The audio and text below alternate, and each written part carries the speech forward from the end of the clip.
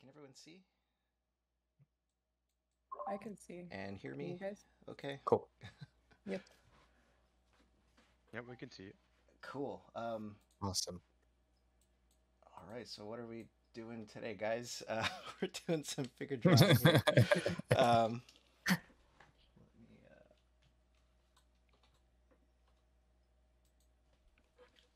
All right, so uh, yeah, I guess um, I'll just be. Wow, it's a lot of people. Uh, I'll just be going through some figure drawing here, um, and I guess I can just generally talk about my overall process and things that I think about. Um, and we are going to be doing traditional media today, uh, so if you guys have questions about that, uh, feel free to ask. Um, and uh, oh, my name is Kirk, by the way. Uh, I um, if you don't know who I am, I I, I teach figure drawing uh, and I work in animation right now as a viz dev artist. And um, welcome to the the workshop, guys. Uh, hope you guys are enjoying all the Lightbox stuff going on right now. I I haven't actually been watching, to be honest. Um, but uh, all right. Um, It's a lot of stuff. yeah, I had a huge deadline this week too, so I've been kind of uh, dying. Oh, no. Um, Well, thank you for doing this for us. Thank you, Kirk. no, this is this is a good break. Uh, I finally get to do something fun this weekend. So, um, cool. All right, well, let's jump in, guys. Um, I guess we can get started here, and I'll I guess I'll try to talk through um, what I'm thinking about uh, as we go. Uh, so this will be I'll do some five minute poses, I guess, to start off here. Um, relatively quick. Um, but uh, so yeah in general with you know figure drawing and art in general the most important thing is to think about uh, broad to specific so setting up any kind of drawing um, that's going to be kind of the main thing i'm thinking about here is what is the overall gesture and uh, getting just kind of the basic elements set up before we jump into any kind of crazy details or anything. So the initial drawings might be a little crude and kind of simplistic, but that's that's the idea, right? And I have committed my first error here uh, by drawing off the page. That's all right.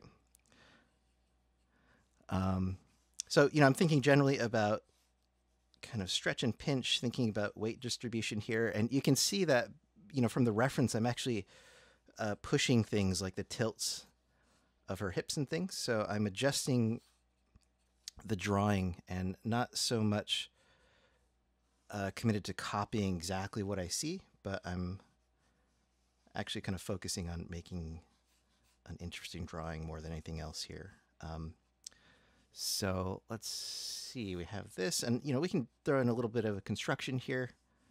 So once we get that gesture set up, we can start to establish things like our rib cage here, our pelvis. I'll use kind of a box for this, and with the other limbs and things extending out, um, I'll basically be thinking about these things as simple cylinders. And the idea behind this is that when we're setting up a figure, I'm thinking of it in kind of two stages where we are looking at, first of all, the kind of two dimensional aspect of things. That's just the general tilts, proportion, placement. And as I move into this step, the big thing I'm looking at are the th- uh, is a three dimensional gesture. so not only how things are moving side to side, but how are things coming towards us and going away. So things like the legs here. Is this leg? Uh, I see that on our model here as turning away from us. So I'm really thinking of it just as a simple direction like this. So even if you know this pose is not the most dynamic, but um, there's still quite a bit of gesture to be had. Maybe not so much in the two-dimensional aspect, but three-dimensionally we can start to push this movement of the form here. Um, so that's where you know thinking about simple volumes and things like that uh, come into play. Um, and once we get this, we can you know address a few more anatomical issues here. We can find the movement of the scapula. And we get this side here. So with this, I'm thinking about these kind of relating around this volume of the rib cage. Um, and from there, I think, you know, this is fair amount of information here to get us started so we can jump in and, you know, I'm not going to go too crazy into all the uh, explaining all the anatomy and stuff. That's kind of a story of your life, uh, learning that. So, um, but uh, as we go through this and we can start to flesh this out a little bit more, we can talk about things that I'm thinking about. So if we start to, you know, the thing is to once we set everything up, we can kind of zoom in on different areas and not worry about our proportion getting off. Um, so this way, if we start with those broad aspects, um, it kind of uh, you're much more likely to succeed here. So let's see. Starting with this, I'm thinking, what is the primary action of this pose, right? And a big part of this is her lifting her arm, and we feel that pull pulling from her hips, and she's resting on her leg here. So as I pull in things like her from her neck into her uh, trapezius, we're going to feel this as a bit more of a bulge here. So this is going to pop up, and everything kind of works in contrast, or you want to look for contrast and opposite. So as this side lifts up, on the opposite side, we can actually come in here and pull this side of her shoulders as more of a stretch here. So I'm using the anatomy here to help reinforce the gesture. Uh, and that's kind of an important thing when you guys are learning anatomy. You want to learn it in terms of how it can help you um, sort of heighten the sense of the pose or the sense of the gesture versus just putting it in there because it's there, right? So uh, we get this compression at her deltoid. This is going to pull back to her scapula here. And on this side, we want to emphasize that stretch that we mentioned earlier. So as we pull down her scapula, this is going to stretch and we can pull into her rib cage here. And what I'll actually do here is let's come across and bracket this. So I'll find the other side of her rib cage coming in. So I'm moving side to side rather than going all the way down. That way I can start to address the kind of total volume of her rib cage here. So let's also get side to side. We can get center and find the bottom of her rib cage here coming down. And as we get this side stretching, pulling down into, let's say, her obliques here, let's come across. And we're going to find more of a pinch on this side. So we can push more of an overlap here to play up a difference between the two sides. And this comes down. And let's see, coming across here, we can find that volume of her hips pushing around. So uh, if we can pull these overlaps around, this is going to really reinforce that gesture of her hips pulling back here. And uh, let's keep going down here. And five minutes is up, but let's let's go ahead and just run through this here. So we can also find some landmarks here. Uh, she's not completely naked, but let's go ahead and bring in some of these anatomical landmarks. Um, and coming down here, sweeping into her hips, uh, this is going to pull around. And this is uh, an important thing that I'm going to think about here is I kind of want this leg to actually come back a little bit more to push that gesture versus this leg going forward. So as we get down to her butt here, I'm actually pushing this around to emphasize this movement here and I'm pushing this back around the other uh, direction to emphasize the opposite movement of this leg. So again, I'm taking a few liberties here with uh, the pose. It's going to come around. We get uh, adductors here coming in. And it's going to transition into these muscles here, grouping in from the sartorius from behind. And at her knee here, what I really want to pull out is this wedge of her calf inserting in between this tendon here and this group on this side. And we can pull down to her calf here. And this is going to run down into malleolus. Other things going on here into her foot. So I'm going to keep these kind of simple uh, for now. Um, and on this leg, said we're going to make this kind of go back a little bit. So let's go ahead and try to do that. I might adjust the um, that neutral gesture a little bit. Uh, this will come around here. And same thing, we kind of want to look for that overlap or that wedge of these two forms pulling around. And this, uh, we're going to get this kind of fat pad on the outside here into that fat pad behind the knee. And we're getting that same kind of wedge pulling into our calf here.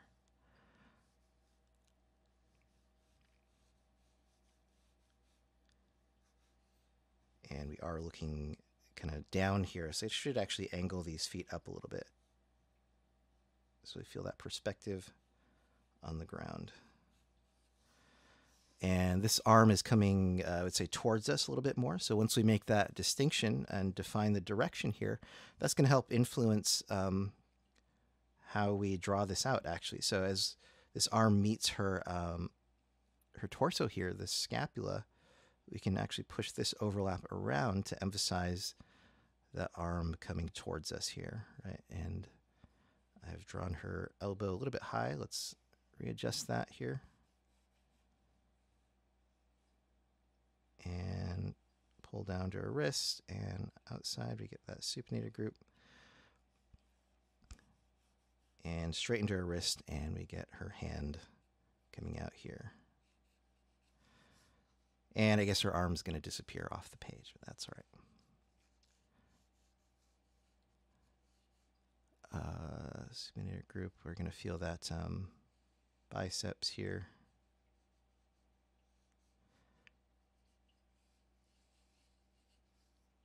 Uh, and that's, uh, you know, we can kind of leave it here, I suppose. Um, let's jump into another pose. Uh, let's see. I guess we can do, yeah, maybe like a profile here. Um, We have a question- question. Yeah, go ahead. Caroline said, How do you know when and where you should take liberties with the pose and gesture? What areas of the body are good for that?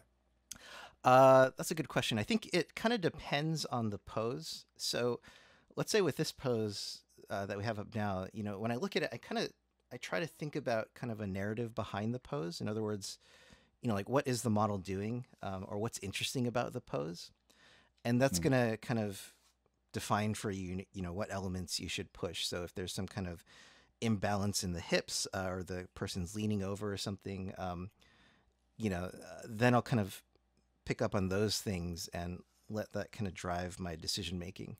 But a lot of it does kind of stem from, um, you know, what you actually do with the torso, right? Because uh, you know that's dependent on the weight distribution, and uh, it kind of sets off the overall sort of um,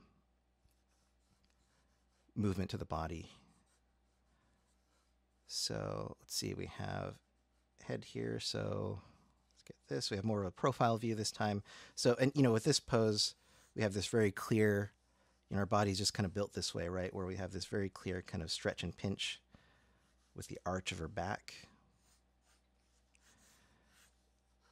Uh, now, one kind of tricky thing about a pose like this um, is that we might get a similar kind of weight distribution here where, you know, if we're seeing this from behind, you know, our hips might be higher, right, on one side. But because we're in profile view, that's a little bit harder to judge as far as, you know, both how do you sight that and how do you draw that out, right? Um, so there are a few tips to look for. Um, basically, generally, when somebody is has kind of weight on one side of their body here, most of the time, that is going to be the straight leg. So the weight bearing leg tends to be the side of the hips that is higher, if you see that. And then the opposite leg would be more of a kind of support leg like this. So if you see a pose like this, and one leg is straight and one leg is bent, that's kind of an indicator that there is some kind of funny business going on with the hips in terms of a tilt. So in this case, you know, looking at that far leg, we see that this is definitely bent. So that's kind of a clue to me, uh, or an indicator that there's probably some kind of tilt. And remember that the uh, the straight leg tends to be higher on the hips. So with that in mind, I would think that the tilt of her hips would be going back like this. Um, and another kind of indicator is that you might see one knee lower than the other. Now, because we're our eye line is probably around here or so, kind of at eye level, we're not going to see that that same kind of difference. But you know, if we're seeing midway through her waist, we might see more of a disparity between the the uh, the knees. So if one knee is lower or higher, that's another indicator that there's a tilt in the hips here. Uh, so I'll kind of set this up. Let's uh, keep going here. So again, starting with that simple gesture, we can get things going.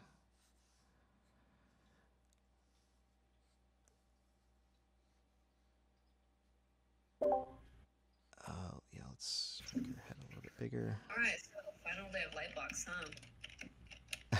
Have you guys uh, seen any more panels that you liked?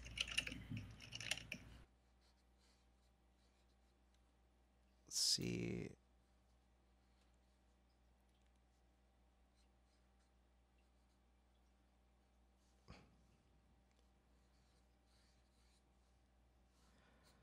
So we can come in here and let's set up this gesture. Um,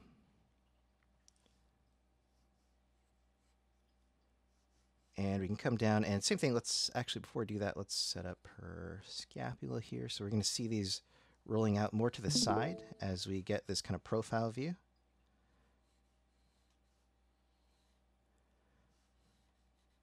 And here again, we're getting the same kind of stretch versus pinch going on. So let's address that as we come in. So on this side, uh, we're going to get mastoid muscle pulling down.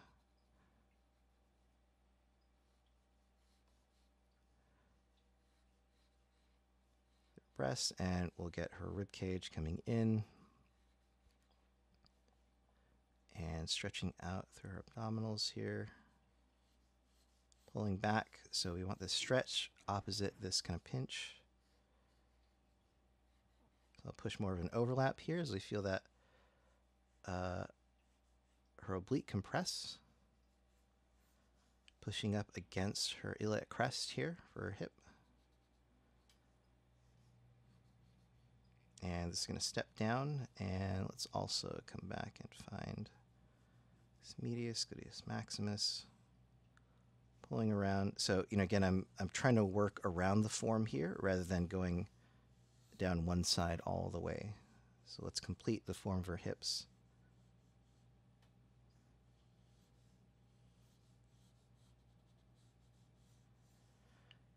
and this leg is relatively straight, but we are kind of looking down at it because of our eye level sitting around here. So we would actually be seeing that turning down like this.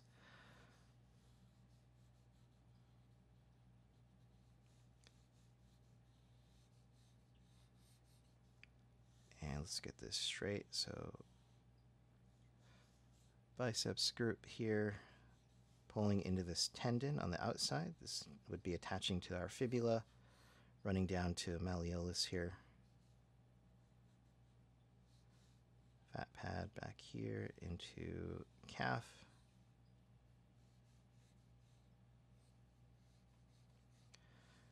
And on the opposite side, uh, so one thing here is to watch out for where the legs start.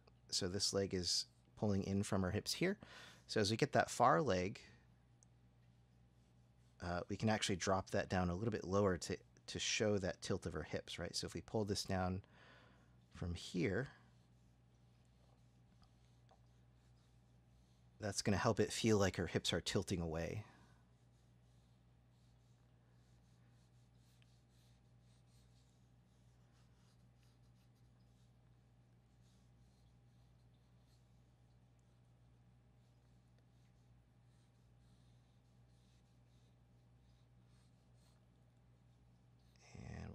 foot. I'll just kind of indicate it for now. And we get uh, whatever this is, deltoid up here, pulling around. We get this pull from her lats and teres major, and her arm is going to come up here. Feel that turning away. Elbow stretch. And you know, once you kind of get that major gesture down, um,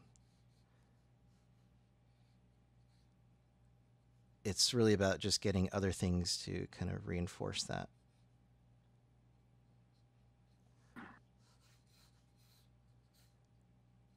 So I'll just kind of indicate something for here. Uh, these are, in terms of the gesture, these are less important than, say, her legs. And I'm being a little loosey goosey here.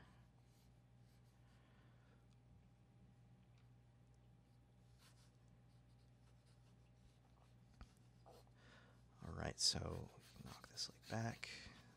This arm can push back as well.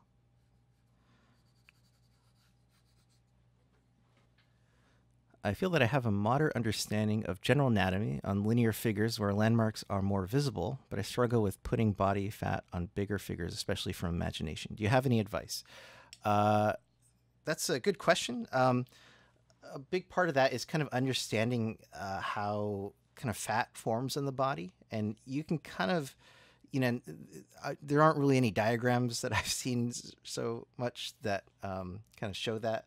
A lot of it is just kind of from practice, and what you're going to find is that things tend to flow around joints and connections. So on our torso here, if we have as an example, we have our rib cage and our pelvis.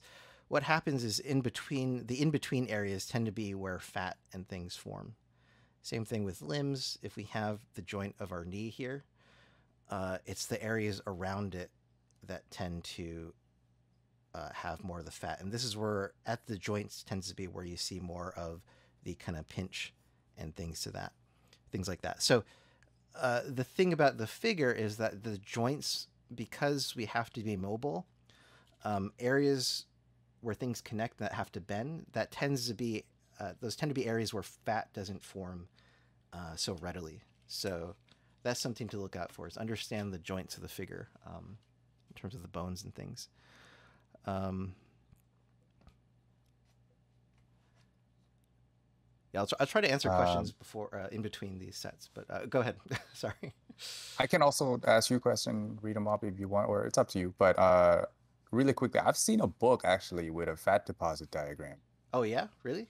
and it's the Sarah Simblett Anatomy for Artists book. Oh, okay. I There's it's there's one page, like it's One- not a lot of Okay. information at all. It's one diagram of where fat deposits are on the body. But yeah, I- yeah, uh, for, me, you just it's through experience, really. Yeah, what yeah. We've noticed. Um, yeah, that's a tricky thing. Uh, I I don't actually own that book. I should pick that up. Um, I've seen that book uh, a lot, but I haven't haven't purchased it. Um, yeah, there's a few things. it- um, oh, go ahead. Sorry. No, no, no. It's all it's all. Go ahead. Oh no, I was gonna say. Uh, also, they have there's a few diagrams in um, uh, the uh, Gottfried Bammes book. Um, I don't know if it's. I don't know what's in that other book, but um, yeah, there, there are there are a few places that have yeah like one or two diagrams that you'll find, but otherwise it's yeah it's kind of tricky. Um, anyway, it's just this here. All right, so getting into this pose uh, is a little trickier. Uh, so we're getting more of a counterbalance to her weight, so she's definitely supported on this, but we want to make sure that her body here is far enough to the right so that she doesn't fall over. So body's naturally counterbalancing this, and I am just adjusting my initial gesture to meet that. And this coming out, so this leg is coming towards us. This leg is coming back. This leg is going down. This arm is going away from us, and we're seeing this kind of roll back of her chest, tilt back of her hips.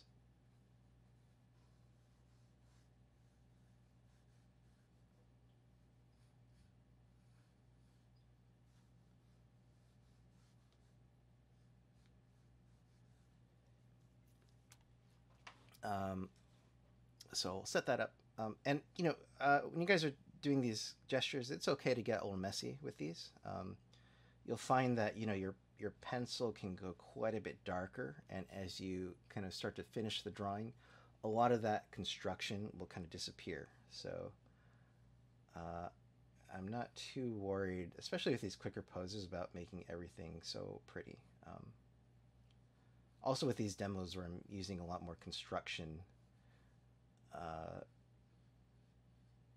you know, things tend to get a little messy just because of the process here, but that's all right.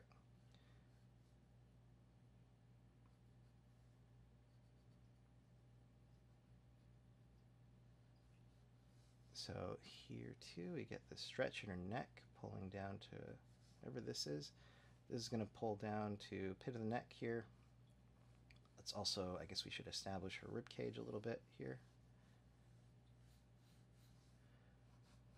Sternum, is going to open up. And we get oblique pulling into our pelvis here.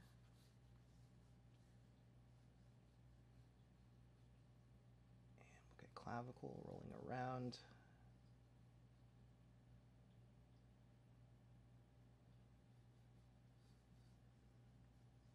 And we'll feel the front plane or the top of her shoulder. So uh, with this, that we have this kind of ball of her shoulder as her humerus pulls out. Um, what I'm really thinking about is reinforcing that sense of the cylinder here. So I'm using that as an excuse to roll around here to reinforce the perspective and in turn, kind of the movement of her arm.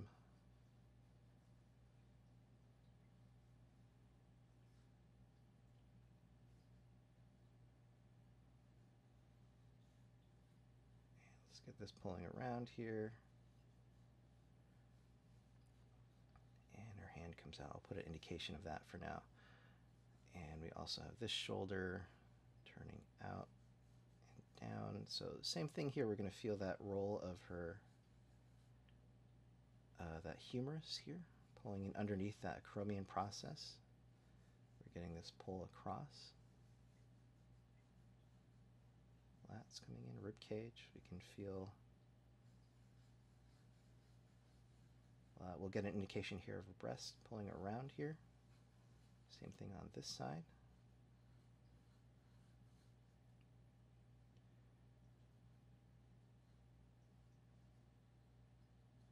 And we get this pinch. Uh, so again, I'm thinking about this stretch and pinch here. This will pull up, and we're going to feel that oblique pull around. And let's come across and find the other side to that. So this side, again, is kind of stretching.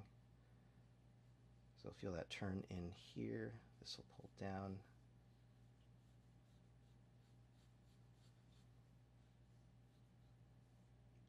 Uh, sternum, this will open up.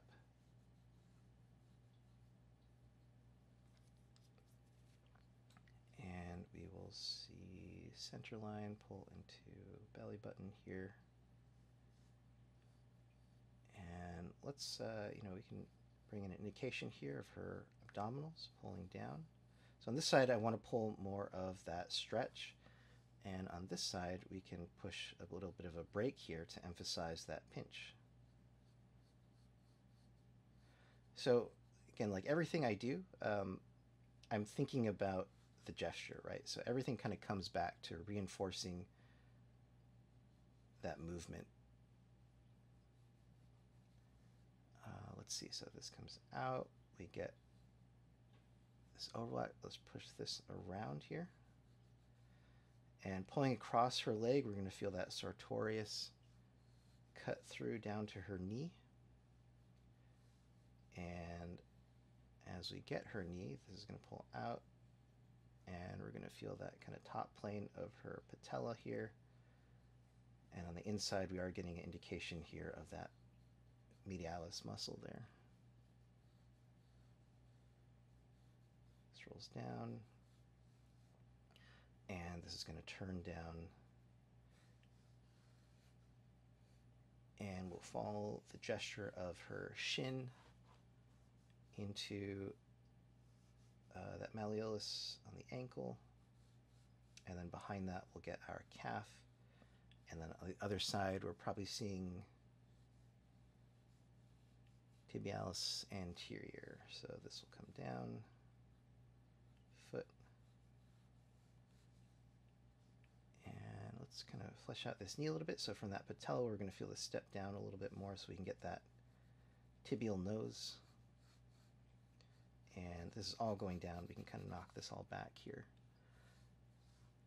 And on this leg here, we can step down, have that kind of three finger uh, gap, groin, adductor, and we're going to feel that sartorius. I'm going to pull this leg out just a little bit more than what I've indicated.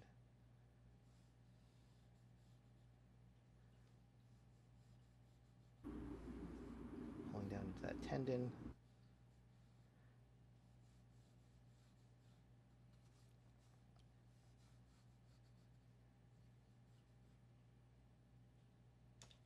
Uh, let's see, this will come down. Uh, so from the sartorius, we're going to get this kind of S curve. This flows down to the bottom of the knee.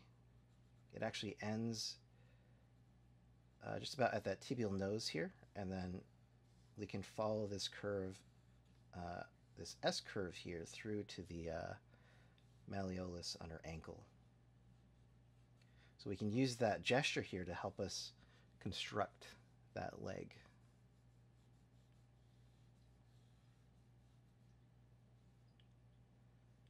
and this foot comes down and we'll just put an indication there of that foot for now. And this arm is coming towards us, so we are getting this kind of twist uh, with this arm. So this will come out. And we'll get triceps in the back coming in along, lining up with this deltoid here along this axis. We get the supinator group. And so as her hand uh, pulls out like this, we see the back of her hand.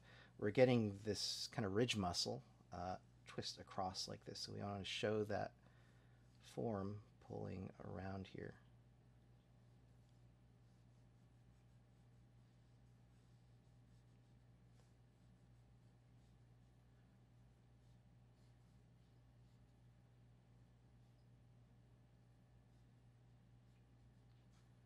and I'll just indicate something for a hand for now.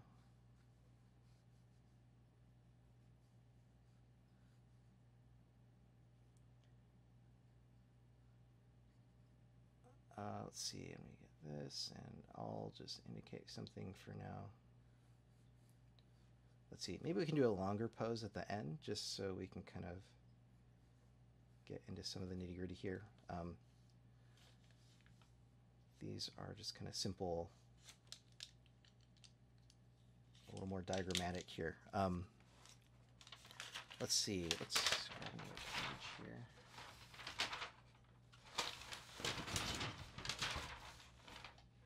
And let's find another pose. Can I read you? Can I read you a question? Oh yeah, go ahead. Yeah, just read them as they come. Which proportions do you think are the most important to you when establishing the preliminary s- gesture sketch? Which proportions are the most? For example, the length of hairline to manubrium and bottom of rib cage to bottom of rib cage. Oh wait, uh, or rib cage to crotch area, roughly the same length. Uh, yeah. Are you measuring anything when you're drawing? Yeah, you can see um, when I was setting these up, I did a little measurement. Um, I, I don't get too uh, too specific in the beginning, um, but the big things I do look at would be so let's you know we can draw this pose out here. Um, I'm just setting up my general proportions of the body here, the torso, where rib cage to the um, uh, sorry the pit of the neck to the bottom of the rib cage to the bottom of the hips is about the same, and another th- uh, one of those distances is where your head sits.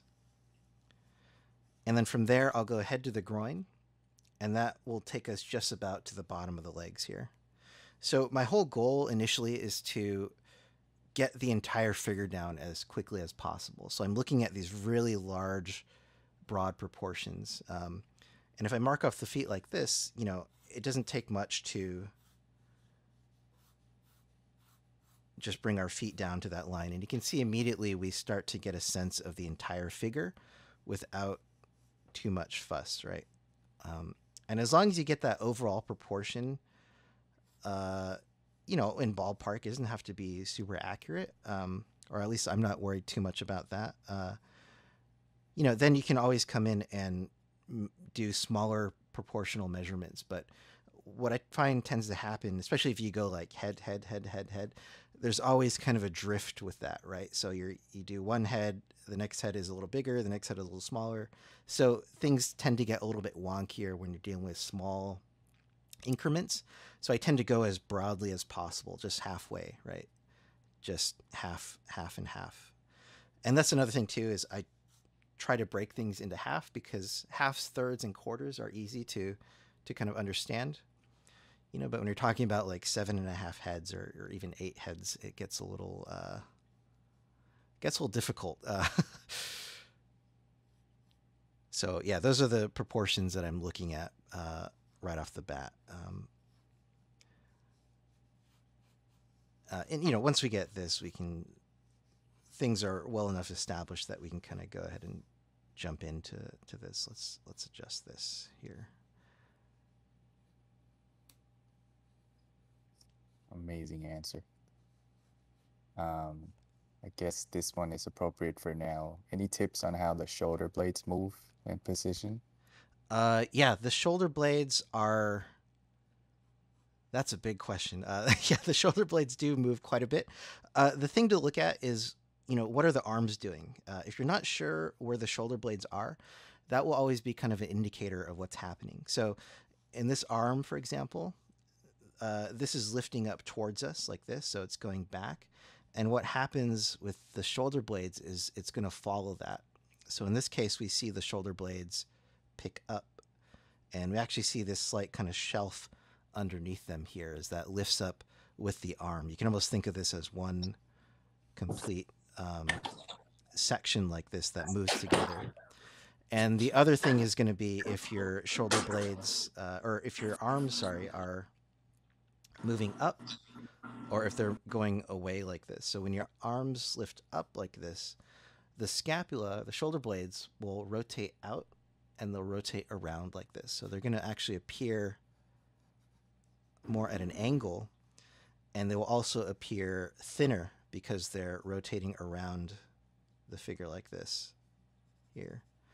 And as your arm pulls back like this, what's happening is your scapula is pulling out. So you're going to see that a lot thinner and pull away. Uh, the other extreme would be if your arms are going back like this. What's going to happen is your scapula are going to get compressed inwards like this. So you feel more of this compression, and you might see this kind of pinch on the uh, trapezius like that.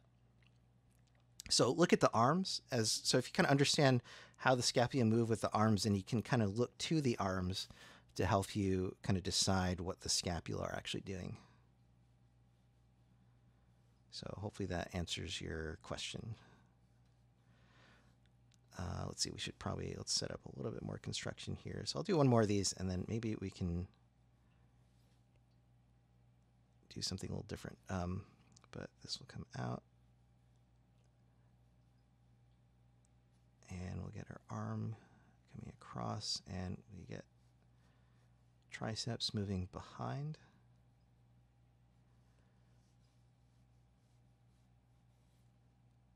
And let's, uh, you know, make it, I'm giving her a big rib cage. Let's narrow that out just a little bit here. So we'll feel more of this stretch coming down. Uh, we'll again get her hips. Let's emphasize this kind of pinch in here.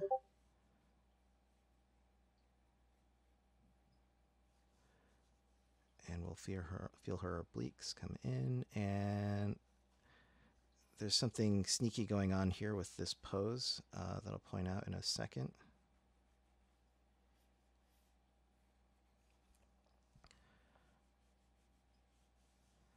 Let's close this off. We'll step down into that sacrum here. Uh, so yeah, with this pose, uh, the sneaky thing, uh, you know, normally we would say that because she's resting on this leg, this is a straight leg, uh, we'd see her hips kind of tilting this way more. Uh, but she's actually kind of pushing up on her toe down here, which is straightening out her hips. You actually see that happen a lot with uh, like dancers. They will push up their hips, and it's meant to give the illusion that they're floating. So you got to be kind of careful with that when you're making your analysis here in terms of, you know, what the legs are doing. So, you know, there's not really any guaranteed rule for for any of this stuff, but um, something to think about. It's always going to be that need for analysis of what what the model's doing. So we get adductor here. It's going to come down.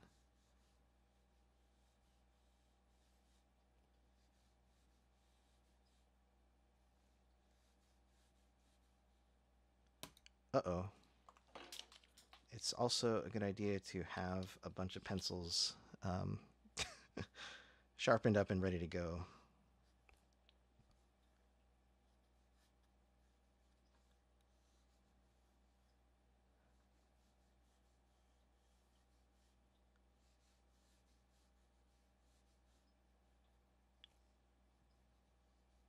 Is it important to hold the pencil like this? Uh, what was that? Sorry, I. What what did you say? important to learn how to draw holding the pencil the way you Oh, uh, it's not necessary. Um, it kind of depends on what you want to do with it, but um, this is, uh, I guess, if you want those fancy calligraphic calligraphic lines, then yes, it is. Uh, but this is definitely something I practiced a lot. I didn't start off drawing like this. I know it's really awkward when you first start off trying to to hold it like this. It's just that, you know, you can get a much broader variety of line work. And the other thing about it is that as you're drawing, because you're pulling along the length of the barrel, uh, or you're dragging it across, with every stroke, you're you're actually kind of sharpening the pencil versus holding it like this and digging into the tip and flattening it. So this actually does allow you to draw a little bit longer without um, without the need to uh, sharpen your pencil. On top of that, there's also there are a number of things you can think about with the line weight. So if you're able to manipulate that, for example, if we draw like a cylinder here, you know, every form can have kind of a top and bottom, and you can indicate or suggest weight to a form by giving it a harder or darker line. You can also indicate a sense of light and shadow by, you know, using darker or harder lines, or also, like with the figure, for example, we can indicate these straight hard lines versus these softer wispier lines to communicate the difference between bone and tendon and flesh. Uh, so yeah, it, it kind of depends what you want to do. But you know, if I'm drawing in like my sketchbook and stuff, I'll with a pen or whatever, I'll hold it with the pen grip more. Uh, I feel like this might be kind of specific to um, the figure, uh, this this type of drawing, I suppose. And I guess it's meant to imitate more of like a brush.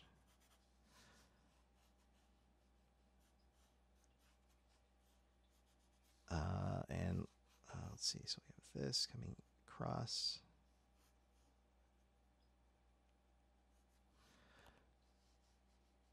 And her arms coming out here. So come out and we get this pinch for her scapula pulling out. Let's also define this coming around here.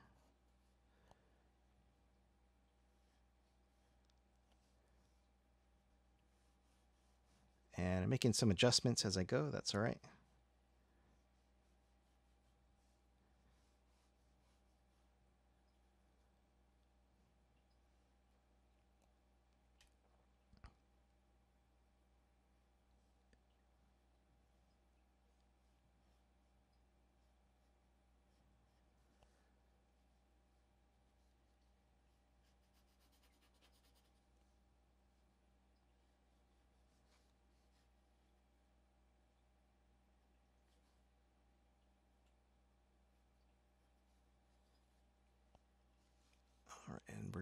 This kind of pinch in here. Pulling across to her scapula, turning under. So I'm going to exaggerate this.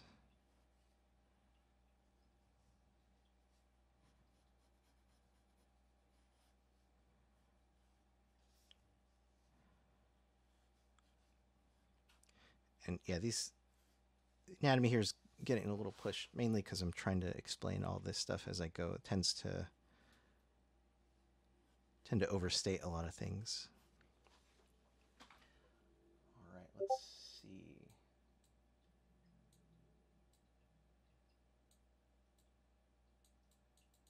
Let's find some different poses. Maybe I know we have some sitting ones here.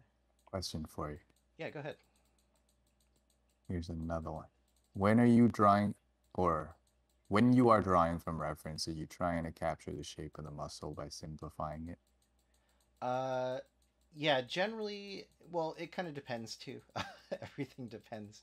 Um, but yeah, no, when I'm drawing from, um, yeah, reference, uh, you know, it's it's always going to be kind of a back and forth between, you know, do you want to simplify or over exaggerate certain things, or do you or do you want to kind of do you see something in the reference that looks aesthetically pleasing, or you like the way that it's it is in the reference. Um, so I'll kind of it kind of depends what I want to do with the drawing. So sometimes I'll use things that I see in the reference and draw them exactly as I see them because I think it looks cool or I think it helps the the pose or the drawing. Um, and sometimes I'll look at something and say, "Oh, that's yeah, it's maybe too complicated. Uh, let's simplify it." Or maybe it's uh, too soft or too simple. Then I might, you know, let's pull that muscle out a little bit more to to um, uh, evoke a certain feeling or something like that, right? So it all kind of depends, you know. And as you draw more and more, and you you get a better sense of what you want out of your drawing, you'll have a better idea of, you know, things you can subdue, things you can pull forward, and uh, you know, it's just building your that design sensibility, right? Uh, let's see. So draw this kind of a bit more of a reclining pose.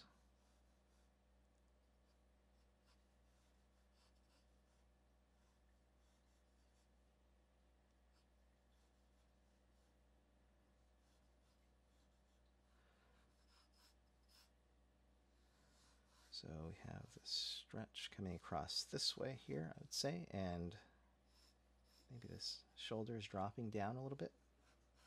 And overall, her body is swinging back here.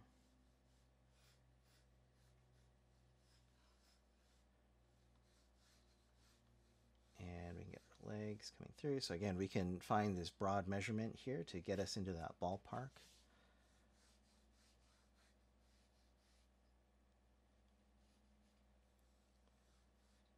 And let's pull this leg forward.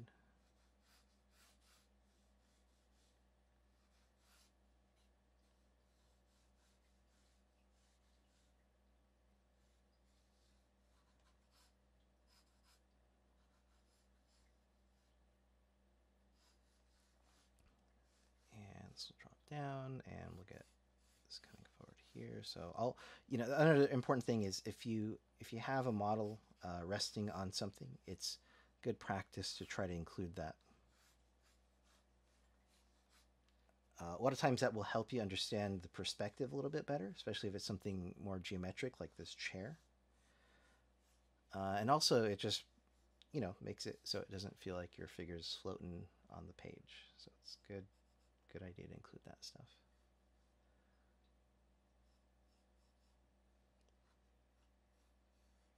Cook Emily said, My teacher went to Art Center and he said they were encouraged to yell when placing gesture lines.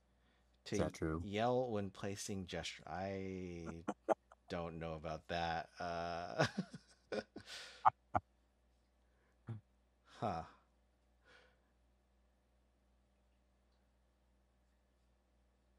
That's funny because my teacher at Art Center was like, she was really soft spoken and very gentle. I couldn't imagine her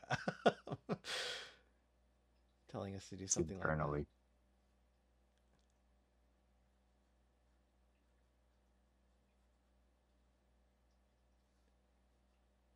that. Any tips on finding your own anatomy shorthand? Uh, that really comes with practice, but it's kind of like, you know, I'm sure you've heard the advice of when you're, you know, don't look like finding your own style, uh, quote unquote. But you know, looking at other artists is a good way to do it, right? How do how do other artists draw like a deltoid? How do other artists draw pecs or or whatever it might be? You know, find an artist that you like, um, and study and copy what they do, and find another artist that does it a different way, study and copy the way they do, and eventually you kind of, just like with your style, you come up with your own ideas of what what you like to see, and you know you can go from there.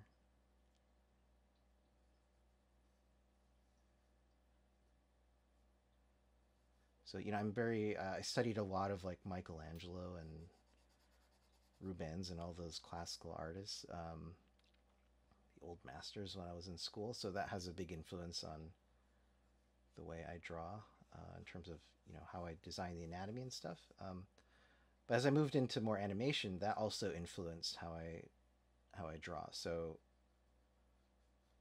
you know, my style started to change quite a bit, and the aesthetics I had started to change. But you know, all those things are still there. It's just a matter of, um, you know, it just sort of becomes its own thing after they all get mixed together in that pot, right?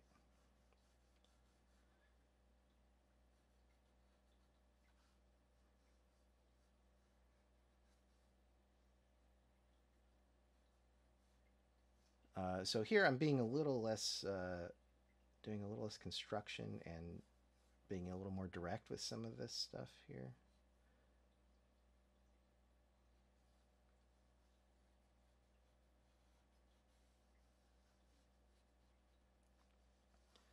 Uh, but you can see I'm still still bracketing, still finding these two sides. Let's relate those together. We can get clavicle here. Find this wrapping up and around.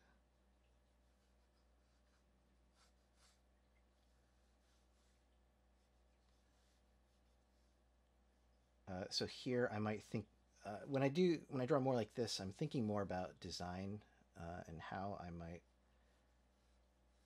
Well, it's always there, but um, you know, big thing with this, for example, I'm really I really want to push this movement of her body flowing down. So even as I draw things like her breast here, you know, you don't want to just draw them like this. I'm I'm pulling them off of that gesture here. So and things like her belly button, you know, I'm gonna pull this with that gesture instead of just drawing a little mark like that. So eventually, you know, the more comfortable you get with the anatomy and stuff, um, you can start to think about that design aspect to it a little bit more. So this side we get rib cage coming down. And we are getting this pinch for her obliques. But again, you see everything that I do, I'm trying to follow this gesture here. And we let's break that a little bit. Let's put an area of contrast here where you get our hips really pushing up against that um, that chair here.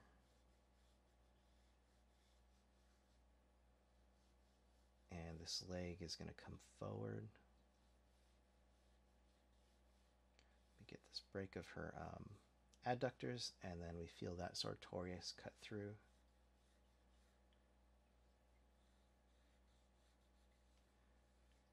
And let's think about this volume here. So this will pull forward. Vastus lateralis.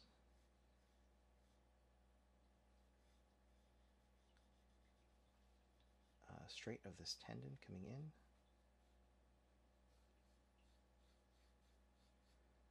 And you know, before I go too far with this leg, let's jump around a little bit. Um, maybe you can flesh out her torso a little bit more. So get her ribcage pinching, and we feel this compression against her um, abdominals here. So again, with these, thinking about that gesture first and foremost. So let's get these moving with that. Get the volume of her ribcage completing through here and then we step down for her, uh, whatever that is, her oblique here. And then opposite that, we're also going to get pull in some of the shadows. So here we're finding the edge of her rib cage opening up into a thoracic arch. And then we feel this edge of her abdominals here. And this is going to pull in underneath her belly button. And we come back around her oblique here. So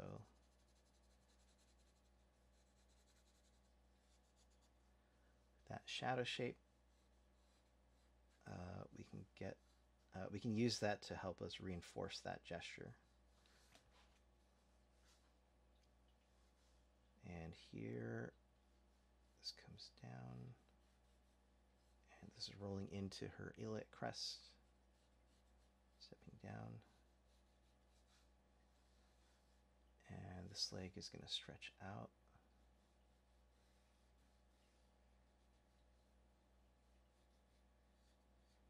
and I feel like it is kind of coming towards us a little bit. So let's, uh, as I address her her knee, for example, I'm pushing this around to reinforce that uh, that movement, right? And I probably have this a little bit short. That's right.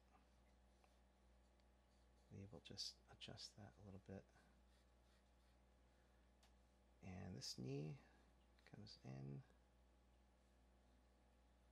step into that tibial nose here. So I'm finding, uh, I'm always looking to find the joints and build around those. So once I get this, you know, we can come down and follow that shin bone here into her foot.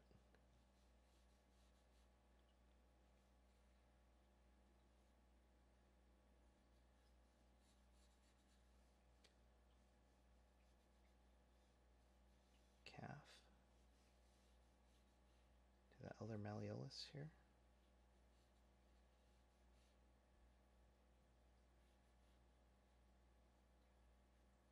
Her foot. Another good thing to practice is get in the habit of always drawing hands and feet when you have the opportunity. The thing I always see students do is they'll be drawing an arm and they'll come down to the wrist and I'll see them stop for a little bit and think about it and then they'll just go and draw somewhere else. but it's, you know, even if it's just as simple as this, just put something in there. Uh, get in the habit um, of doing that, and over time, you know, you'll you'll get better at it. But if you keep avoiding it, you're never going to get better at drawing those hands. Put them in the pockets and put Ye- grass yeah, over the yeah, exactly. Don't put grass over the feet. Just draw them out.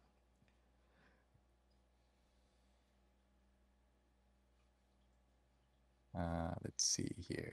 How important do you think speed is while drawing? Do you think it's important to set a timer when learning? Uh, so there's a reason for doing quicker poses and a reason for doing longer poses. Generally speaking, don't worry about speed. Just go at whatever pace you need to to get things done. The reason we do, let's say, like two minute poses, um, is because the time forces you to think about specific things. Because a lot of times, uh, and I see I see that happen with students a lot is that you know they'll uh, jump into like doing really specific details right off the bat, right? But when you only have two minutes, it forces you because you don't have the time. Then you really have to just focus on the gesture, right? So it's that limitation is there to get you to do something specific. But generally, I would say, don't worry. Uh, and you know, even in two minutes, you know, it's not really about how fast you draw, but it's about making good decisions, right? If you can, instead of drawing super fast and doing all these lines here, if you just slow down and spend the same amount of time, but you just draw the one line that you want after feeling it out a little bit, um, that's better than than doing all this, right? And over time, the more you practice doing those good decisions, um, you can you get quicker at making those decisions, right? Um, but you gotta you kind of have to slow down to speed up.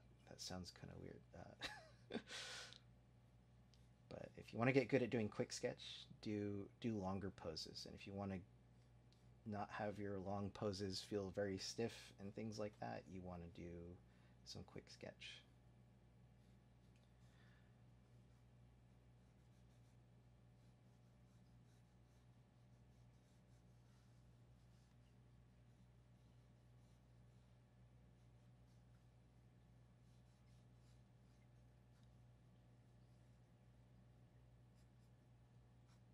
Okay, got another one here. Do you do these kind of studies digitally?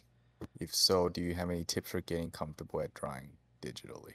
Uh, yeah, I I do these a lot actually. If you have a YouTube channel, if you see the stream, I every now and then I'll stream some figure drawing sets like this. Uh, It's on all the time. I see him on YouTube streaming. yeah, it's uh, it's just practice, you know. Um, and I would say don't overcomplicate the process, right? I just pick like one brush and just stick with that through the whole drawing. Uh, and you know, it's a really simple brush too. It's just something with like a, you know, like a pressure sensitivity for the line uh, thickness, uh, kind of like a brush pen.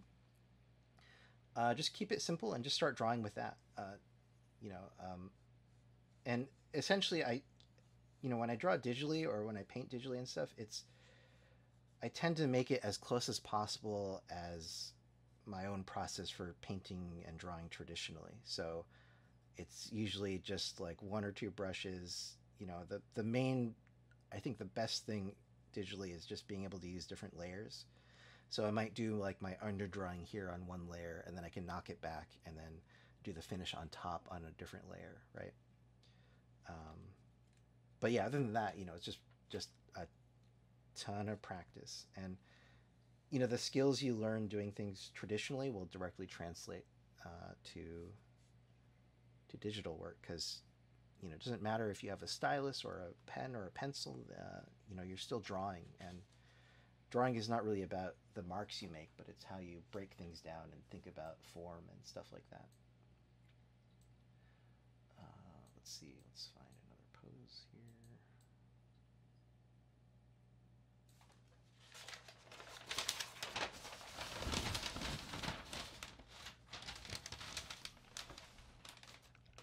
Uh, so let's see. Let's.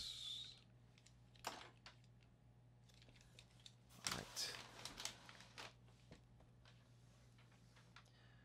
So yeah, maybe we can do something a little bit looser here.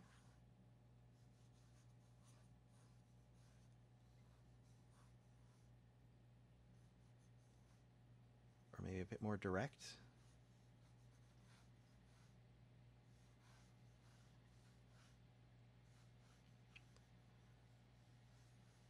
If I got a question. Oh, past yep. past the spine, where do you usually have the line of motion follow? Uh, past the spine, uh, that will depend on the pose. Uh, you know, a lot of times it's going to run through a leg uh, or something. Um, and you know, kind of like what I was mentioning earlier. You know, when you look at like the the weight distribution, um, let's say you have a pose like this where uh, you know somebody's doing this, right?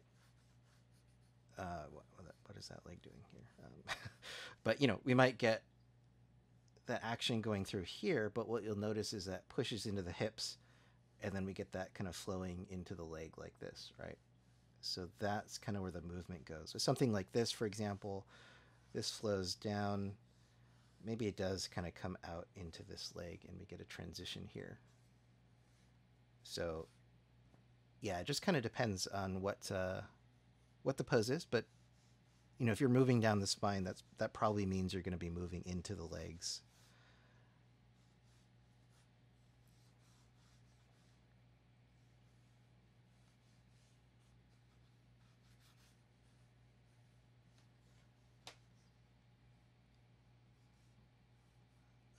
Uh, so here with this, let's actually push her, um, open up her shoulders here, so we're kind of looking into them, and then we want to push her head down a little bit, so we really get her leaning into this pose.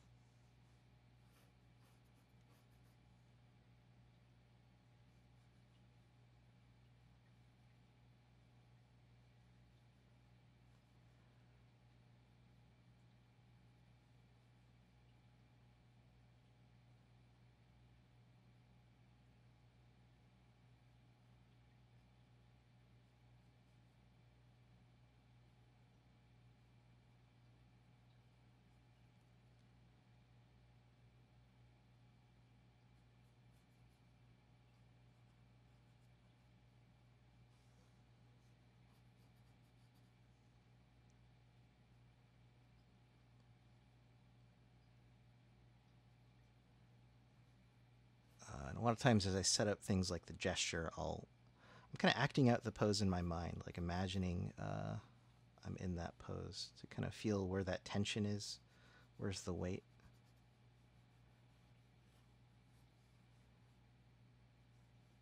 So here we have the stretch in her neck, and we really feel her shoulders kind of come up and over here.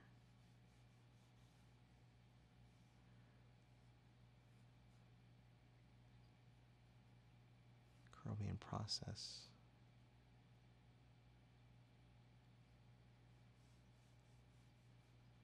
This big stretch in her neck, and then we feel this whole thing kind of roll forward.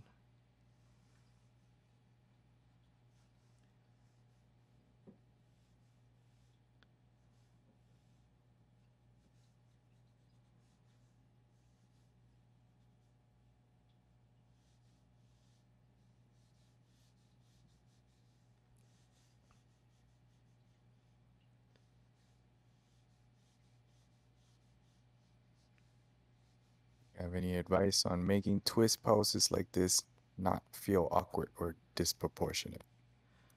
Uh, awkward or disproportionate. I think the main thing is just setting up your proportions in the beginning and um, kind of slowing down to to line things up a little bit more. You know, so I'm really looking at like pose in, in twists. It's all about that center line, right? So you can have the exact same shape for your figure, but depending on what you do with that center line, that will tell a very different story, right? So with this, what I'm really focusing on is getting, looking at the elements that follow her center. So like the pit of her neck, for example, here pointing out in this way, versus things like her belly button pointing out this way, right? And if you can get those to kind of oppose each other, you're probably going to get a pretty good twist. And then, yeah, as far as getting the things not to go kind of crazy, um, let's just slow down a little bit and make sure we get our structure for things like our rib cage and stuff set up properly. So I'm not afraid to just, you know, draw right through this arm to make sure that that volume is correct. It's good to kind of get in that habit. Um, and then we can find her obliques in here and then obliques on this side. So I'm still following that same kind of bracketing idea here. And we can adjust this a little bit. Let's get this hip coming back. You know, so here I'm we can actually box our hips out a little bit if we want to really make that solid. And that's really going to reinforce that shift in the angle.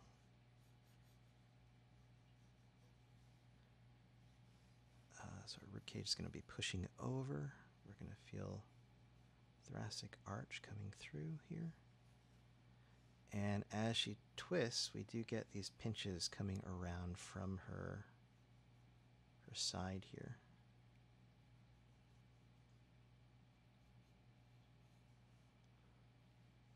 And her belly button will also help reinforce that if we design it as a shape to move with that gesture.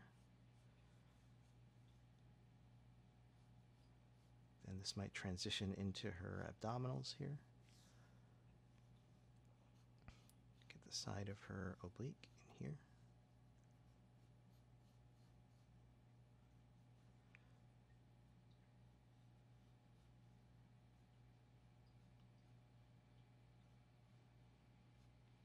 Get the other side of her abdominals here.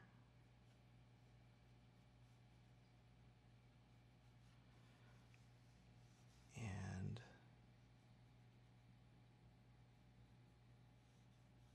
arm coming down. Just gonna shift a little bit. Let's that's all right. We'll just push this hand behind.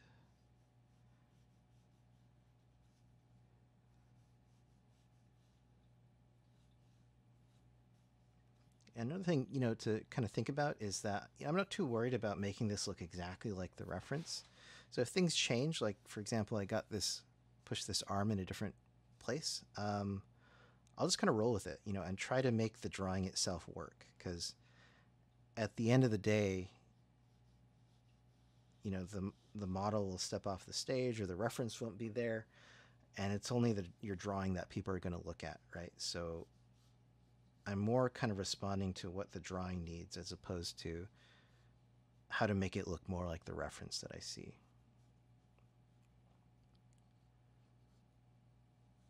Now, that's different from, you know, I'm, I might try to capture the energy of the reference. Uh, that tends to be more what I'm thinking about as far as, well, actually using the reference, right?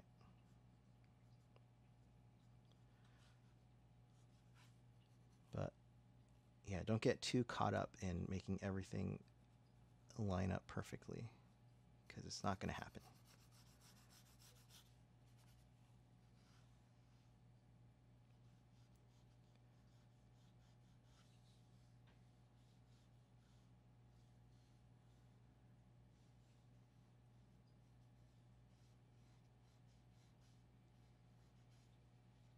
So this leg is, what is it doing? Who knows? Hey, we actually have a question about the legs too. Yeah. How do the legs connect to the torso? How do the legs connect to the torso? Uh, that is a kind of big question, but um, we, can, we can jump into it really quick. Um, the one thing I will say is that um, when we are standing upright, we have your hips here. Your legs will step, uh, sorry, your hips will come down, and your legs actually attach a little bit below the top of the iliac crest here, your pelvis, and they swing in from the back of your butt. So a big thing with the legs is that they actually do overlap on top of that hip box that we think of. And so when you lift your leg up, it actually swings from the bottom of your butt like this. So a common thing that I see that you want to avoid is drawing your hips and then drawing the legs below it like this. You always want to think about it actually starting on the front of the hips, right? Or if you're bending a leg, you don't want to bend the leg from down here like this, right? It should stem from in front. So as I draw this leg, for example, you can see that I'm overlapping that volume on top of this hip box here. So it's a very kind of simplified answer. That's uh, that's one big thing that you kind of want to be thinking about in terms of connecting it. Um, otherwise, you know, it's pretty much just a cylinder socketing onto a box like this, you know. It's not too much much more complicated than that. Well, it kind of is uh, if you get into all the anatomy. But as far as a simple form, right, that's what I am um, really thinking about. Let's see. So this comes forward here. Back of the leg, biceps group, uh, pulling into this tendon. And we feel this. Um, so, you know, there obviously are some muscles in here going on. This is the, the tensor muscle coming in. Glutes rolling around here. Vastus lateralis. Um, coming in. And we have that knee rolling around here.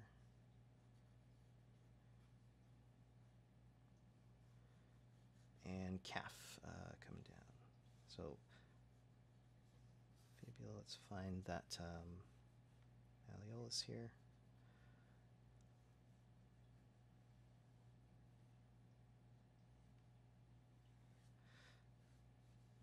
And you know I'm, I'm calling out all this anatomy. It probably might not mean anything to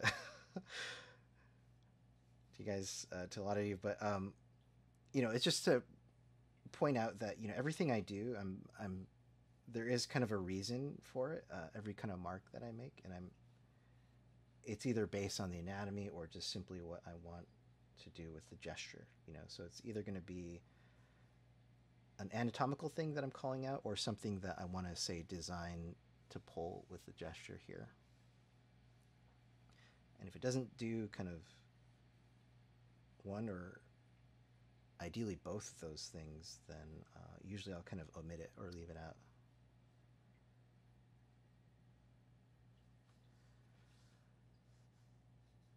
Uh, let's see. Get ready for this next question, Kirk. Yep, go ahead. what are you, Kirk, personally striving towards getting better at in your figure drawing currently? What am I striving? That is a very good question, uh, and a tricky question. I don't know. Um, I, you know, a, a big thing I think about nowadays when I'm doing figure drawing is really just kind of exploring different styles, uh, finding interesting ways of describing things or uh, designing things. Hmm. Um, you know, because and you know, obviously, like I'm still learning stuff about anatomy and stuff like that. It's kind of an ongoing thing. Every time, you know, I'll read, I always skim through some anatomy stuff and find something interesting that I didn't really think about. Um, but yeah, the big thing is just looking at different styles and, and coming up with interesting ways of, of communicating things. Uh, so, you know, I'll be copying other artists and things like that and trying to think about, you know, why they're doing the things they're doing um, and seeing if I can incorporate some of that into my own drawing. Um, Has this always been a thing, or like when you were starting out, was did you have a different focus? Oh yeah, definitely starting out, you know, I I was just like how how to draw a box. Uh, how do I draw anatomy and stuff? Um, you know, but once you kind of get comfortable with that, there's a whole nother game beyond that, right? Um, Mm. and that's you know what do you do with the drawing right it's because it's not just drawing for the sake of drawing um, but uh, yeah kind of giving giving it a bit more of a, um, a purpose and that doesn't have to be like professional it could just be your own personal desire and what you want to see or you know discover new things um, and a big part of it for me really is just I just like the feeling of the pencil on the paper and stuff like that. So uh, I almost don't really care what it looks like as long as I had fun drawing it, the I, experience. I kind of relate to that a little bit. Yeah, so you know, I'll just do like whatever. Um, and if you see like all my old pads, like there'll be like a really more kind of academic classical drawing, and then the next page will be something really scribbly and cartoony and, and random. So yeah, I'm just kind of having fun um, most of the time. But uh, if I do sit down and think about it, um, that's yeah, I'm, I'm thinking about kind of, I guess, problem solving, different ways of solving the problem, right? But yeah, there, nothing beat like doing this now after not doing a lot of traditional. This this feels amazing. Um, the pencil on the paper, I'm like, oh man, this is great. But uh, yeah, maybe we'll do one more here, and we can uh, call it a day for this workshop. 23. Oh, we're doing good. Um, what tips do you have for doing live sketching where people are constantly walking or moving? Oh, like uh, like the the people that you're drawing, I suppose. Um, yeah, Michelle, so do you mean like the model or do you mean like Pe- a- like people, people around you. Like you're outside in public. Live sketching oh yeah so one thing um uh to kind of practice uh, and this gets into like you know the the time like drawing quickly that was asked earlier um you know have students do like one minute poses right and with the one minute poses obviously it's not about getting all the detail there but it's about honing your ability to kind of see the overall pose all at once right so like when i look at this pose for example my initial kind of uh reaction, right? If I'm just drawing a really simple thing, is that she's going like this. And, you know, I can just glance at it and kind of pick up on this gesture here, right? This looks kind of silly. But, but, you know, we could take this and flesh it out. We have all the information we need to continue this, right?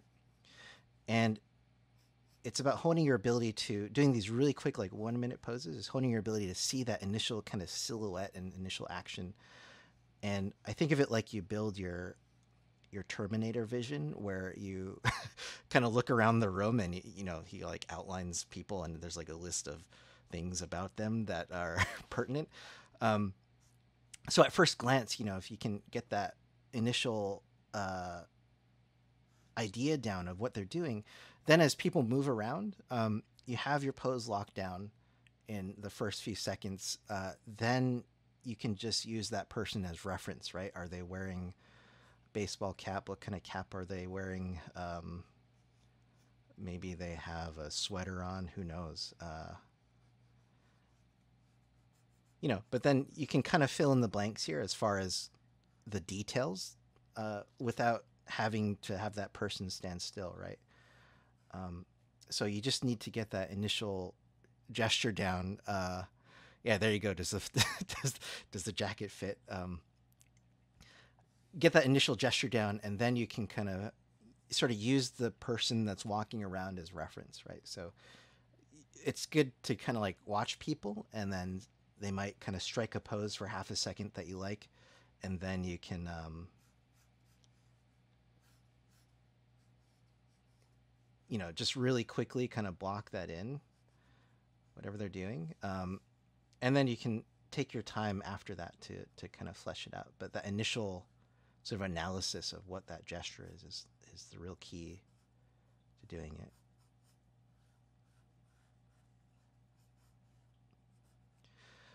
Um, so hopefully that makes sense. Uh, and you know, you can obviously kind of push the proportions and stuff as you as you do that. Um,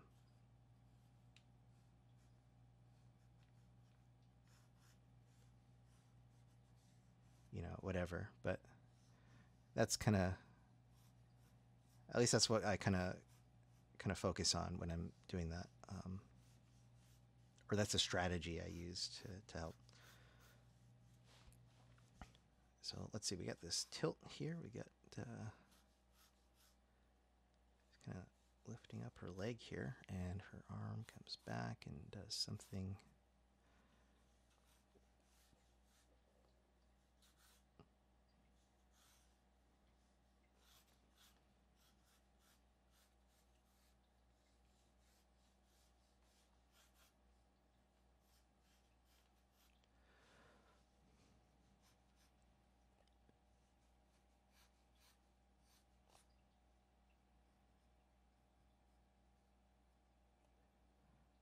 So this is a little bit bigger here, so I guess we can spend a little more time doing stuff.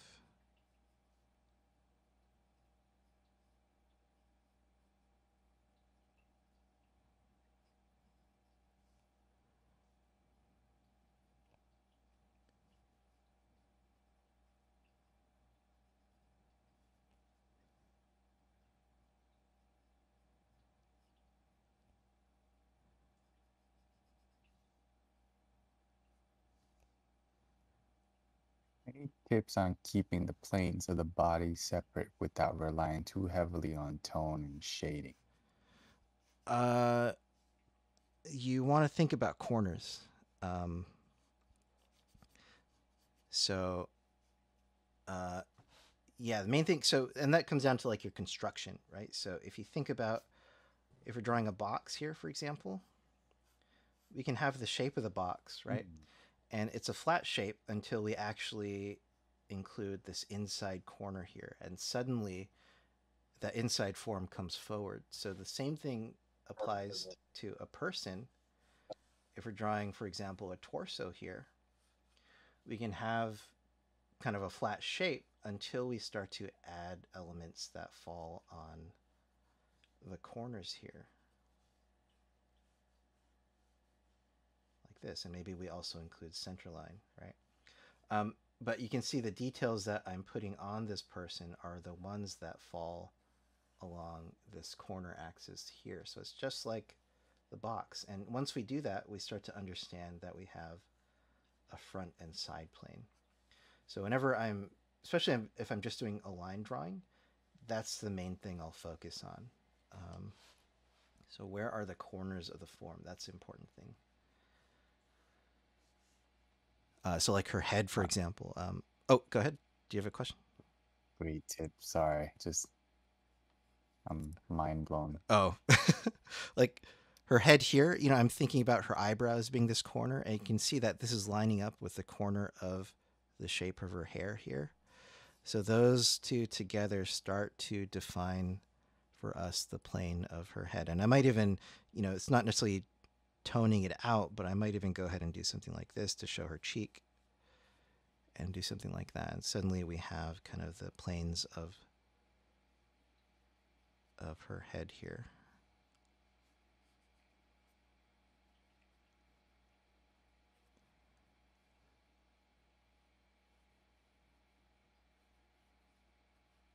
So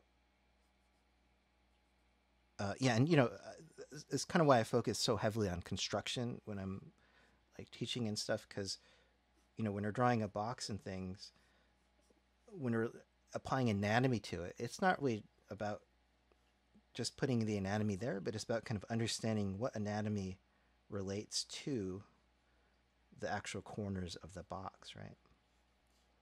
And once you kind of understand those alignments, then you can pull out certain forms that you know will help you kind of uh, that that you know kind of fall in those corners, right? So, uh,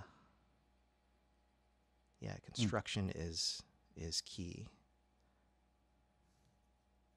If you to to really Right. kind of understand this, but uh, anyway, yeah. I'm gonna. It's an hour and a half. You can keep going, but it's. I'm gonna start asking the question that I've skipped before. So, Okay. Um, let's see. Or this one just came up. Any tips on knowing what muscles you're drawing when it's not super developed on the surface? I find the muscle groups all kind of blend together and end up copying shapes instead of understanding the underlying form. Um, yeah, you really want to go out of your way to do the construction, because then you're then you're kind of just forcing yourself to put um, uh, put a put a word or an idea to the to what you know is there, I guess. Um, and also looking at um, looking at other artists. So you might look at always bring up Renaissance artists, Renaissance artists, because they're so exaggerated. Uh, but finding a similar pose that they've done, and they're probably going to show you more of the anatomy that would be there if if it wasn't just kind of a normal person. so that can kind of help you understand what what is um, what is below the surface without getting when the information is not there and you know the more you understand about the anatomy or more you practice it the more you actually see that is that might be like super subtle that you might not really understand initially you know so also practice and experience Practice. How do you apply these studies to your own style? to my own style um yeah you know This big is similar to what we've answered before. Like, just yeah don't uh think about style too much. yeah don't think about style i mean one of the big benefits of doing these kind of studies is just the experience factor you know um, so like as an example you know how do you draw somebody with you know their leg coming towards you and their foot you know you, you get like a crazy foreshortened pose like this um, you'll have a much better idea of how to do that if you if you've practiced that kind of angle uh, a hundred times, you know, over and over. So a big thing um, with just figure drawing and stuff is that the model will present you with poses and, and angles and things that you might not necessarily expect, right? And a good idea is instead of moving to a different um, place or jumping to another reference image, is just try and draw that as awkward as it might be, because it will just add to your experience in terms of you know what you're familiar with. Uh, so um, yeah, beyond style, uh, uh, I mean, honestly, I, that kind of comes. Part of that is just like the exploration of it, you know, as you're drawing. Um, but more of that comes from looking at other artists, I would say. But for studies like this, that it's that experience factor of having drawn something through studying, you know, hundreds of times. Then when it that same kind of thing presents itself in another situation, you're you're ready. Um, it's like wax on, wax off, right? You Mhm. you have that reaction of just being able to, um, you know, understand what's going on. It'll it'll come to you. You- Yeah, You'll know. Yeah, exactly. Won't make sense now, but yeah, when it when it happens, you'll yeah. Do you think there are any disadvantages to studying from photos versus life? Uh yeah, nothing quite beats life, I would say. Um Yeah.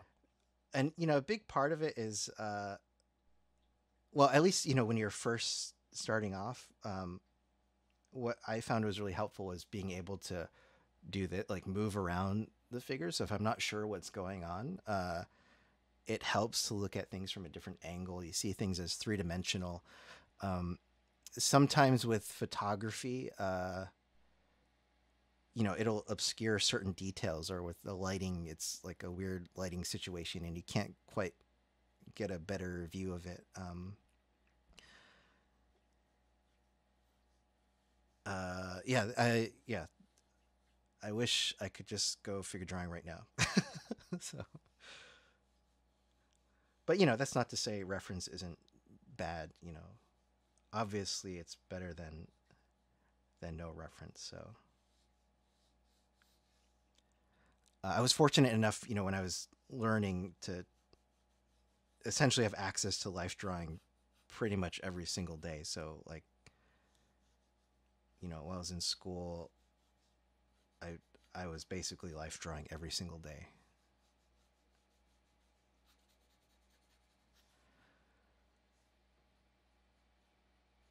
Have you been going at all?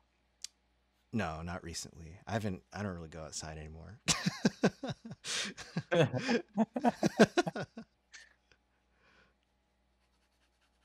Caroline said, "Do you bother doing full construction for really foreshortened poses?"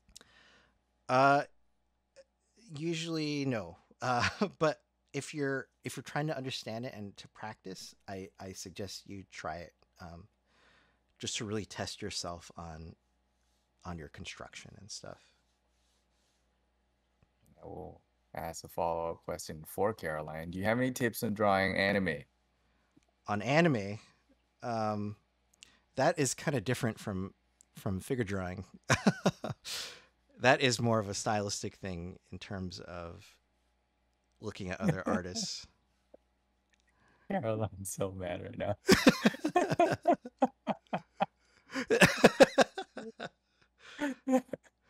yeah, typ- typical Carol. Oh, okay.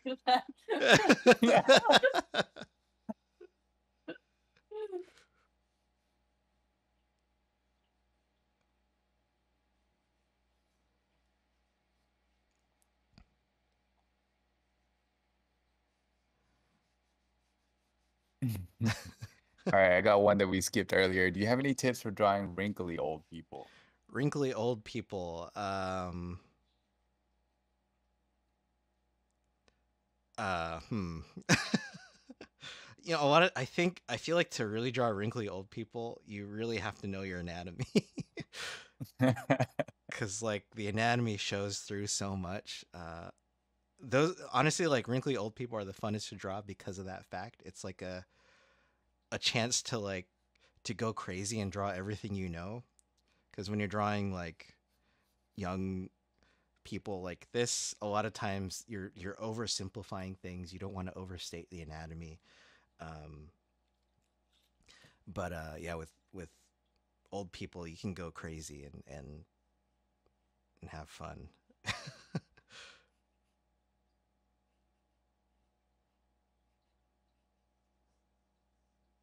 but yeah, I mean, you know, you got to really know your bone structure and and all that jazz.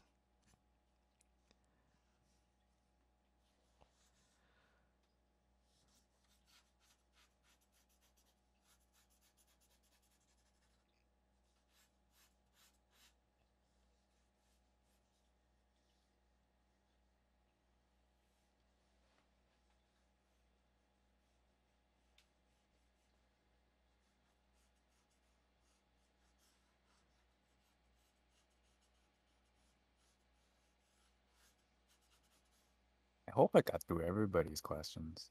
Um, what time is it? 340. Yeah. An hour and 40 minutes. That was pretty good. Yeah. Kirk, thank you so much. Yeah. I'll no let you finish out this post and then we'll wrap it up. Cool. Um, does anybody else have any questions before we?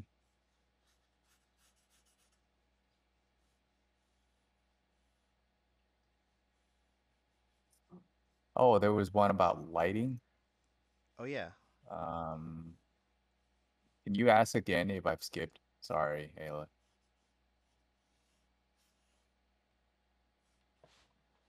How, how do you light figures?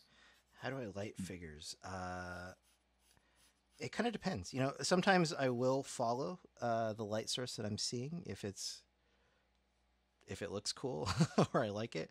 Um, but you know, you might get a situation where it's more ambient light. Um, then I'll tend to focus more on uh, designing it with a simple top-down lighting. Um, so there are different lighting kind of modes you can go into. Uh, but um, yeah, generally it's it's the simpler you can keep it, the better. Unless you're, well, I guess unless you want to. There's a reason you want to draw that um, that really complex lighting. Um, but you know, like something like this, I'm not worrying too much. There is this kind of reflected light back here, but I'm generally just keeping it to to one light source, and it's mainly just to make like a clearer statement. You know, I find that if you go too crazy, uh, uh, it, it also depends on the um, the scope of the drawing, right? So this is kind of a quicker pose. I don't really have time to render all that, so I will um, opt to keep it a bit simpler. But uh, but yeah, generally the simpler the better. It will tend to read better just as a drawing.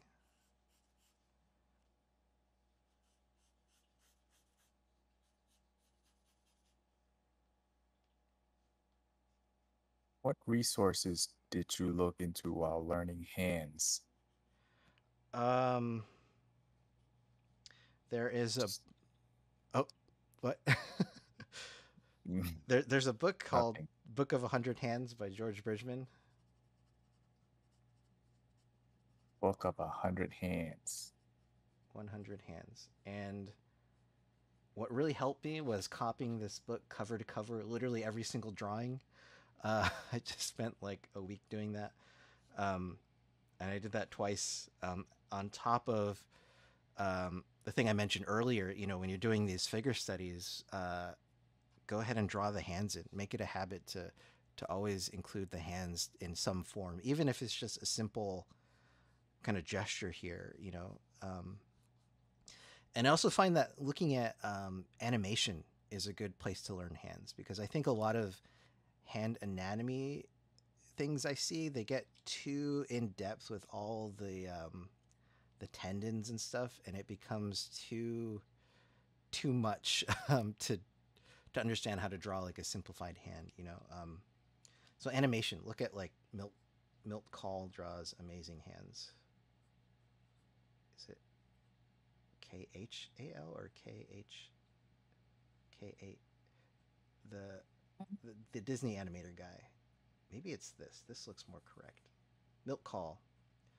Uh, so if you got like Merlin's hands from Sword of the Stone, um, I actually learned a lot in terms of drawing realistic hands actually from from drawing from animation. Surprisingly, yeah, 101 Dalmatians. Uh, all those old Disney movies, actually.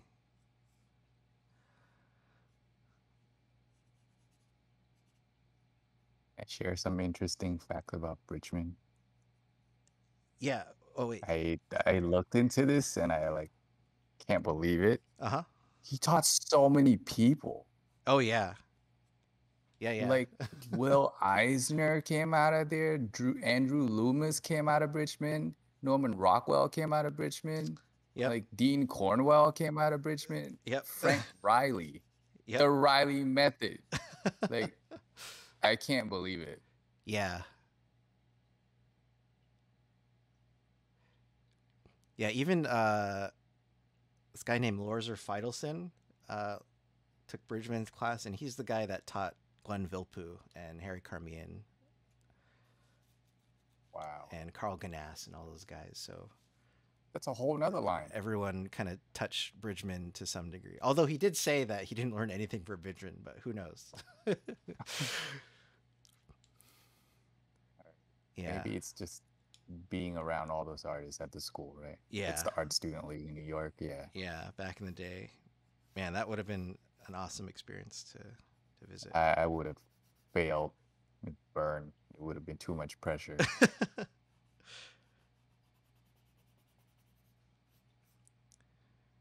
um all right. Well, I guess we can I don't think I'm going to do too much more to this, but uh All right. Last minute question tips on simplifying the pelvis. Do you use a box or do you use a bucket?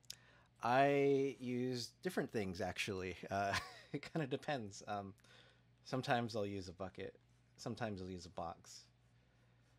Sometimes I'll use a cylinder like this. Uh, it kind of it it Hmm. kind of depends on the model, right? Some models like there's one model. I don't know if you guys, if you're in California and you've gone to any kind of figure drawing, you might know Sarah Streeter.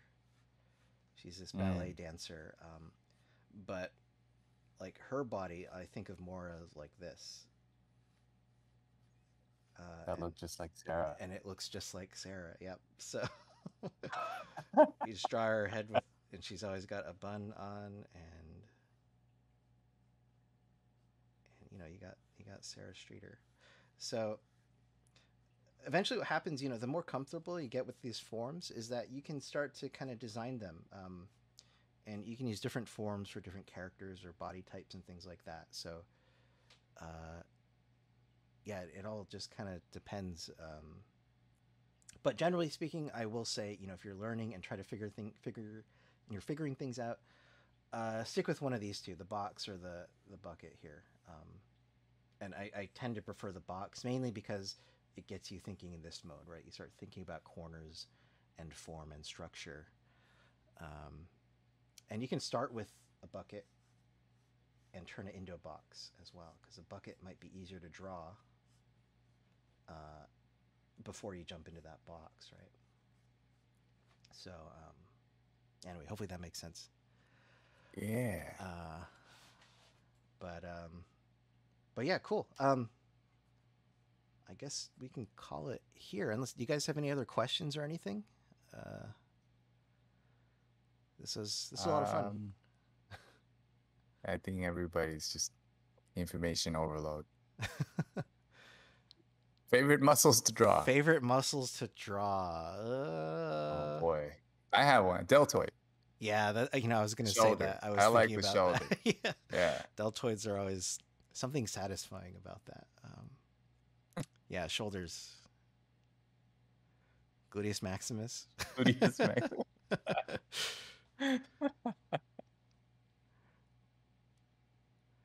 Okay, I guess yeah, we'll we'll stop it here.